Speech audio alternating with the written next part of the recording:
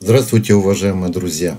Хочу предложить вашему вниманию один из вариантов, как можно изготовить очень мелкую мушку, используя, допустим, вот такие интересные, привлекательные перышки, но которые не подходят, к сожалению, на мелкую нимфу. Я долго думал и, в принципе-то, нашел выход. Хочу с вами поделиться. Крючок я взял, номер 18 чтобы вам было лучше видно. Вязать, конечно, можно его и на несколько других крючках, и гораздо мельче. Это вы уже посмотрите по своим способностям. Закрепили нить, огрузили свинцом район торакса или грудки, там, где мы будем с вами изготавливать. И подвожу нить к началу загиба. Здесь мы закрепим хвостик. Все мы будем изготавливать из одного и того же интересного перышка. Я возьму теперь буквально щепоточку для того, чтобы создать хвостик. Хвостик у этой нимфы. Я хочу связать нимфу такую худенькую из семейства биотис. Они обычно прогонистые, не головастые, но однако же достаточно живые. Длина хвостика должна приблизительно равняться длине тела или несколько меньше. Закрепим парой витков и с вами подровняем хвостик, чтобы его длина соответствовала нашему телу. Подтянем немножечко, вот столько будет достаточно, пока не отрезаем, закрепили. Для сегментации я буду использовать вот такой, как обычно, плоский люрикс, чем-то напоминающий юнифлос. Крепить материалы необходимо так, чтобы мы не заходили до начала намотки свинца. Отрезали остатки пера и хорошо промотаем теперь место крепления и скроем, вскроем переход между свинцом и нашим телом. Немножечко, буквально, как только начнется загиб, сразу останавливаемся. Этого нам будет вполне достаточно для положения нашего хвостика. Вот так. Только одной ниткой – подровняем тело, придадим конусность. Стараемся так, чтобы перехода у нас сильно между свинцом и телом не намечалось. В качестве тела я оторвал вот такие длинные перышки, которые имеются в наборах от мечевидного пера павлина. Можно взять и резинкой или ластиком, кто как его называет, эти бородки все стереть, но я обычно стараюсь не трогать. Какой стороной вы начнете наматывать? Выберите для себя сами. То есть, в зависимости от того, выгнутой или вогнутой стороной вы будете мотать, у вас выйдет абсолютно разное тело.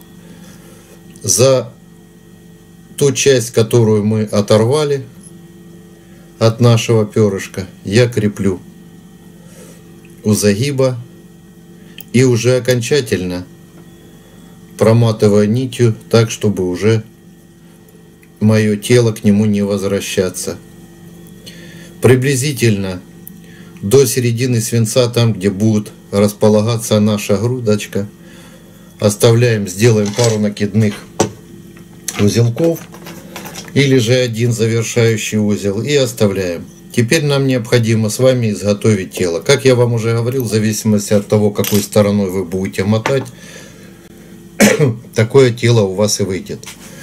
Для более качественного крепления можно использовать клей, но я использую, как обычно, вот лак, которым я пользуюсь все время. Совсем-совсем немножечко нанесем на место крепления и начинаем выполнять обмотку.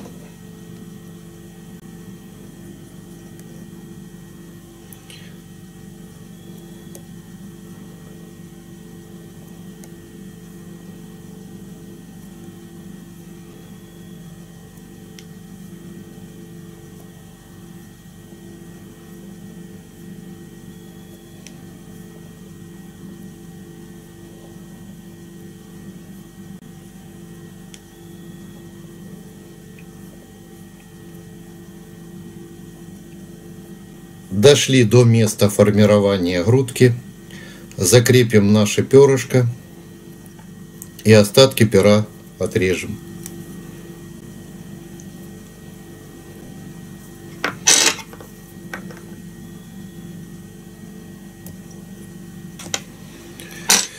Теперь нам необходимо также выбрать тот же шаг приблизительно или же несколько больше и попадая между виточками так, чтобы сильно не порушить нашу обмотку,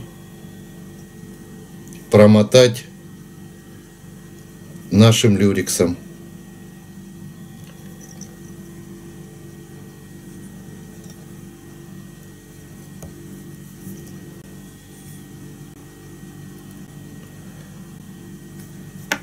и остатки отрезаем.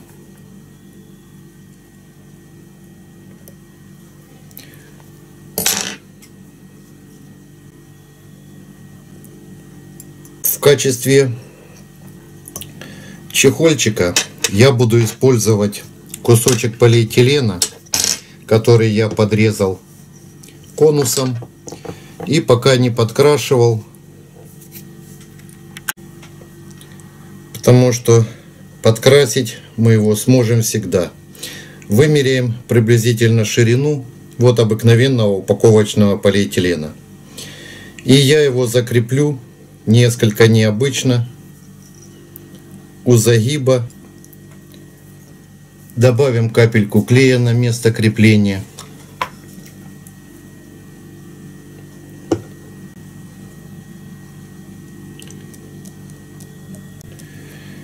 И изготовим грудку. Грудка у этой мушки у нас темненькая. Я взял такой темноватый серый даббинг. И мы с вами сейчас изготовим. Грудка приблизительно должна быть, ну, хотя бы раза в два толще, чем наше тело. Она у нас хоть и прогонистая, но лапки должны на чем-то держаться. И проматываем до места крепления нашего пера павлина.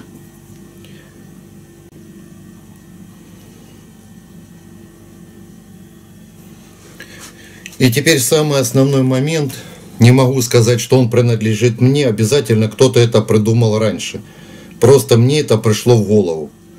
Я возьму буквально вот сколько мне необходимо для того, чтобы я сформировал э, лапки у своей нимфы, перышек. Вот приблизительно вот такое количество. Держу вот таких в пучочке и отрываем от нашего перышка, аккуратно не нарушая вот у меня вышла вот такая конструкция. Плоская совсем, оторвалась она у меня от моего перышка. Теперь я беру, слегка складываю по плоскости, стараясь сильно не нарушить мое перо. Вот так. И беру приблизительно в середине нашего, нашей грудки. Креплю вот так наши перышки.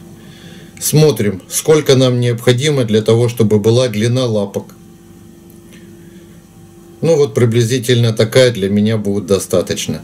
Как вы видите, из любого пера, даже если у вас куропатка, перепелка или э, любое, допустим, э, куриное перо, точно так же, как вот такого вот качества, можно спокойно вырвать. Не обязательно искать вот такие, чтобы были длинненькие подходили, то есть из любого пера уже можно изготовить будет себе лапки, подобрать длину. Это мой друг Ричард просил показать, как можно из обыкновенного ненужного пера изготовить мушку из того, что есть. Вот как вы видите, у нас уже есть определенное количество наших лапок. Теперь нам необходимо с вами будет промотать хорошо место крепления. И пока мы ничего не трогаем с вами. Добавляем даббинга совсем немножко. Делаем тонкую, но плотную даббинговую нить. Хорошо промотаем место крепления. Сзади, спереди, так, чтобы они у нас вот стали вот таким симпатичным ёршиком, как на изготовление клинхаммера. И уводим там, где у нас формировалась наша грудка. Теперь, так как мы больше уже не будем касаться нашей нимфочки, нам необходимо взять фломастер коричневый, черный, любой, какой вы захотите. Можно даже вплоть до того, что подкрасить вот так вот, сделать несколько темнее даббинг, если он у нас не подходит по цвету. Я беру, подкрашиваю мой полиэтилен, который я закрепил. Можно использовать и э, наборы, которые продаются фирмой Hands все, что вы захотите, вплоть до того, что медицинские перчатки можно отрезать и с них изготовить. Или же из изделия номер два. У меня, допустим, вот я не брезгую, лежит такой же латекс, и я периодически из него точно так же изготавливаю. Просто он не совсем по сравнению с полиэтиленом долговечнее, поэтому я использую материал, который несколько лучше выдерживает наши нагрузки рыбацкие. Приблизительно поделили пополам наши бородочки. Отводим вот так в сторону их. По возможности, если вы не можете руками, можно это выполнить даббинговой иглой. Сделали. И теперь я беру нашу пленочку, удерживаю в этом положении так, чтобы не разъезжались мои лапки – пленку, поправляем, смотрим еще раз, так как это уже у нас будет, ребята, окончательно. Вот меня устраивает и длина лапок, и моя величина грудки. И теперь я сперва не в натяжку, только лишь продавлю. У нас должна выйти приблизительно вот такая конструкция –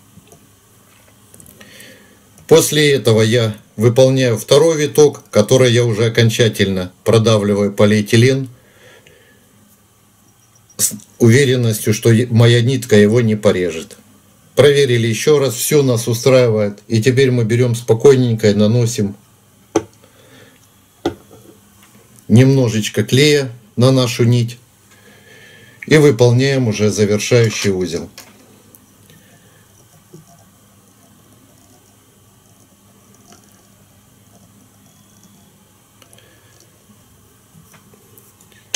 Вот так будет нам достаточно. И теперь нам остается только лишь убрать излишки нашего полиэтилена. Аккуратно поднимаем вверх и в одно касание вот так срезаем.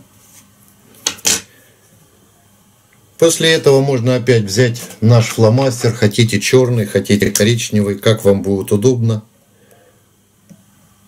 И уже окончательно подкрасить снаружи наш чехольчик. Как вы видите, довольно-таки симпатичная, удобная в работе, в рыбалке и не сложная в изготовлении. Плюс к тому же есть возможность использовать те перья, которые, допустим, было затруднительно использовать при изготовлении наших нимфочек. Вот и все, друзья. Вот такую симпатичную нимфочку я хотел показать вам сегодня. Если у вас есть какие-то пожелания, пожалуйста, пишите, я отвечу. Благодарю за внимание. До скорых встреч.